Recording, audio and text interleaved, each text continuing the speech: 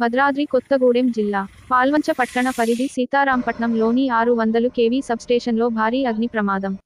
మంటలను అదుపులోకి తీసుకొచ్చిన పాల్వంచ కొత్తగూడెం భద్రాచలం అగ్నిమాపక సిబ్బంది.